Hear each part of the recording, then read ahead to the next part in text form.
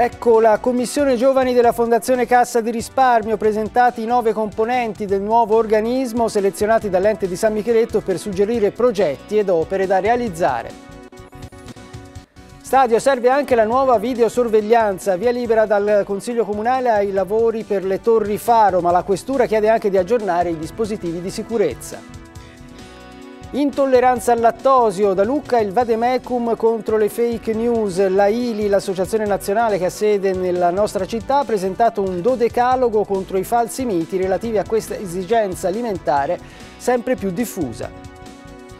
Lo sport ultima chiamata per i playoff, la gara interna di domenica prossima contro il Borgo Manero va assolutamente vinta, i biancorossi la stanno preparando in modo ottimale ma è necessaria anche la sconfitta dello Spezia.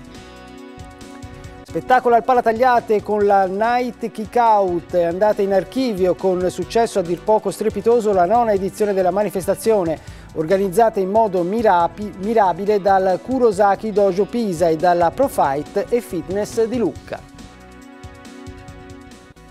Bentrovati a questa nuova edizione del TG Noi. In apertura parliamo della nuova Commissione Giovani, un nuovo organismo varato dalla Fondazione Cassa di Risparmio di Lucca per eh, avere nuove idee su progetti ed opere da realizzare. Sono stati prescelti tra oltre 100 candidati, hanno tra i 18 e i 30 anni. La maggior parte studia, ma c'è anche qualcuno che lavora già e arrivano un po' da tutta la provincia. 4 da Lucca e dalla Piana, 3 dalla Mediavalle e dalla Garfagnana e 2 dalla Versiglia, rigorosamente in proporzione alle candidature arrivate dalle varie zone del territorio. Sono i nove componenti della Commissione Giovani, il nuovo organismo voluto da dalla Fondazione Cassa di Risparmio di Lucca per avvicinarsi e dare voce alle nuove generazioni. Ci aspettiamo molto, uno perché sono giovani chiaramente e quindi sono portatori sicuramente idee nuove e questo ne abbiamo sicuramente bisogno, ma poi soprattutto perché eh, devono riuscire a portare a noi quelli che sono i bisogni che sentono più importanti senza filtri. Mi sono candidato a questo progetto per poter dare idee ad un ente che, nostra, che nel nostro territorio è fondamentale e che ha il potere di promuovere eh, grandi progetti futuri per una fascia d'età che non viene effettivamente rappresentata e che mi sta molto a cuore perché è la mia fascia d'età, quella dei giovani. Un argomento che ti sta particolarmente a cuore? Ma sicuramente proprio quello della valorizzazione del territorio, eh, far diventare appunto il nostro territorio eh, che ritengo ricco di potenzialità ehm, più rilevante anche a livello del, del, della regione toscana. Primo obiettivo della Commissione Giovani collaborare con la Fondazione nella selezione dei progetti per il bando Scelta di Campo, dedicato proprio alle idee suggerite dalle nuove generazioni. Dalle nuove opere ai lavori su strutture decisamente più datate, parliamo dello stadio Porta Elisa, il Consiglio Comunale ha dato il via libera ai lavori per eh, la ristrutturazione delle torri faro, ma spunta anche una nuova esigenza, quello dell'aggiornamento della videosorveglianza. Via libera ai lavori di adeguamento dello stadio Porta Elisa anche dal Consiglio Comunale.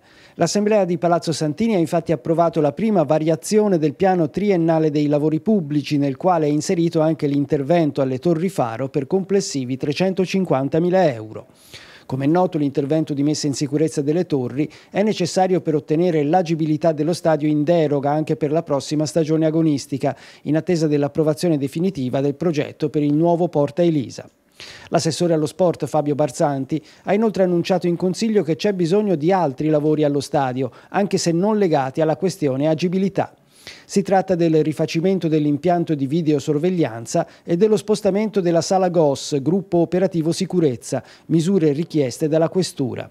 Intanto siamo alla stretta finale per la convocazione della conferenza dei servizi decisoria per l'esame del progetto del nuovo stadio.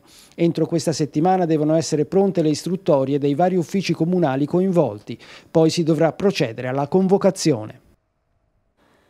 Il caro benzina è tornato purtroppo d'attualità nelle ultime settimane. Sentiamo che cosa ne pensano gli automobilisti lucchesi. I prezzi della benzina tornano a salire, ma i lucchesi di lasciare l'auto in garage non ne vogliono proprio sapere. Il boom dei prezzi dei carburanti tradizionali, inoltre, non sembra essere un motivo sufficiente per passare all'elettrico e per chi lavora le quattro ruote restano ancora un mezzo di trasporto irrinunciabile. A me gli aumenti non mi fanno nulla perché io prendo sempre 50 euro e, e spendo sempre uguale. È una battuta. Ci fa attenzione, prende meno la macchina? Sai, io sono pensionato e quindi diciamo la prendo poco, ma no, no non ci faccio attenzione, siamo, siamo schiavi, per ora siamo schiavi della benzina, il mio sogno è avere una macchina elettrica. Perché non l'ha ancora presa? Perché costa un mucchio di soldi, penso. Eh, eh. E poi eh, i miei amici, uno che l'hanno presa, mi hanno detto Alberto attento, costa di più l'energia elettrica che la benzina. Usa un po' meno la macchina? No, no, quella quando mi serve la uso. Eh, oh, non... E alla macchina elettrica ci ha mai pensato? Sì, infatti io c'ho da cambiarla, ma non la prenderò senz'altro elettrica. Perché? Perché hai visto in America scoppiano tutte, si accendono tutti, ma anche gli stessi autobus eh, prendono fuoco così da niente. No? Non si fida? Ah, no, mm, ibrida magari, eh, elettrica no, no, no. La metti in atto qualche stratagemma per prendere meno la macchina, per cercare di risparmiare? No, io purtroppo la uso già il minimo indispensabile. Ho dei tragitti lunghi, quindi... Un'ultima domanda, hai mai pensato appunto alla luce di questi rincari all'auto elettrica, ibrida? La prossima macchina sicuramente. Lutto nel mondo del commercio a Lucca per la scomparsa di Pierangelo Giannecchini, autentica anima del commercio di Borgo Giannotti con la tabaccheria che portava il suo nome proprio al centro del quartiere.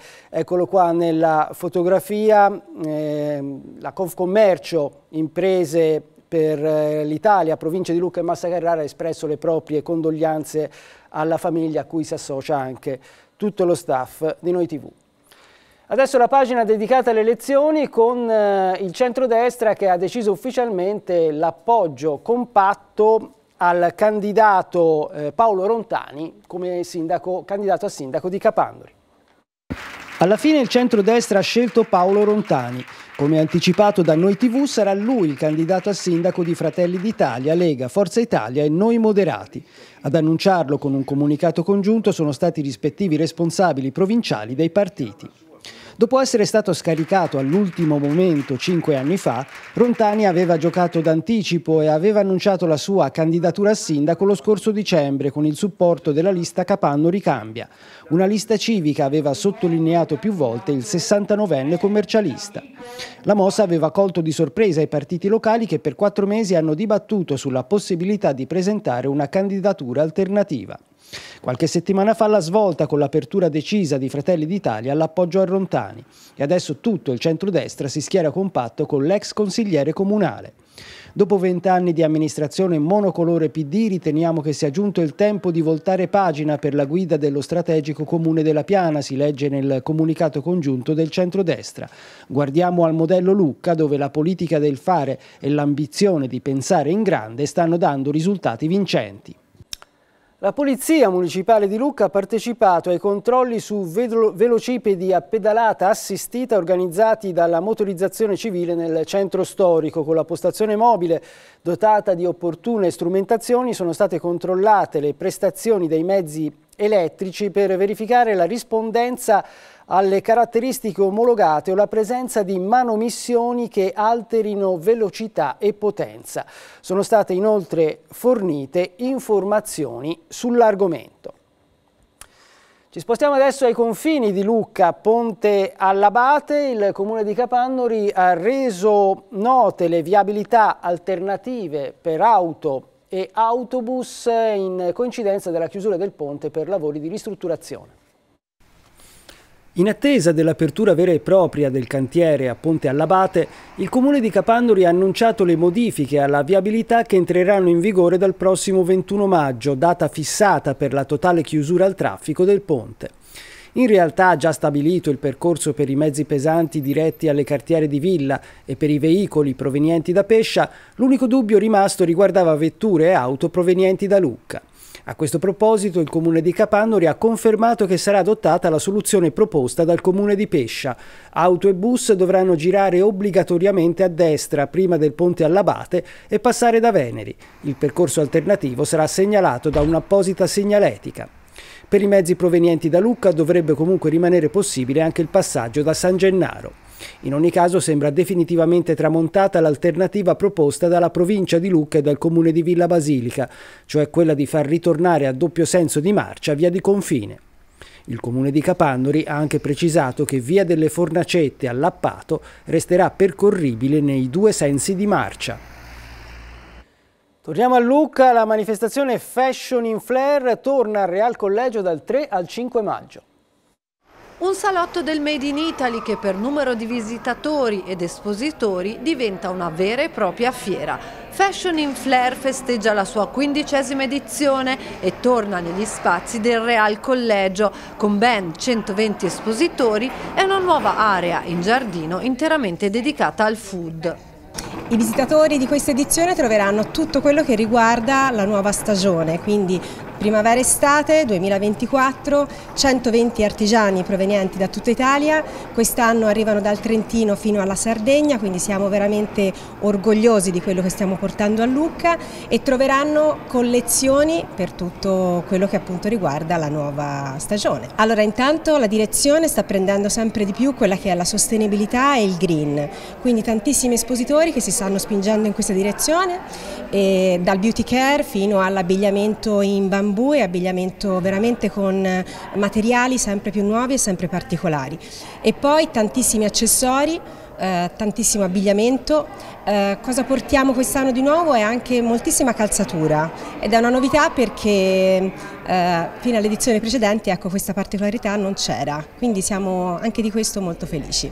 Tra le novità dell'edizione primaverile la presenza dell'associazione Onlus Knitted Knockers Italy con le sue protesi lavorate a mano, a maglia e all'uncinetto per le donne che hanno subito una mastectomia. La musica, il cantautore romano Antonello Venditti si esibirà in concerto il 3 agosto alla fortezza di Montalfonso di Castelnuovo Garfagnana nell'ambito del festival Montalfonso sotto le stelle. Il concerto rientra nel tour dedicato al quarantesimo anniversario del brano Notte prima degli esami.